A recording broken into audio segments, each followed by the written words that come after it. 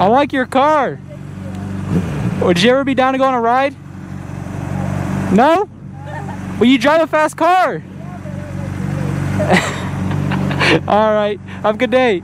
Hey, I thought you guys were pretty cute. Can I give you a kiss? No, I have a boyfriend. Not even a, a chocolate? What's a good place to eat around here? What? Chipotle?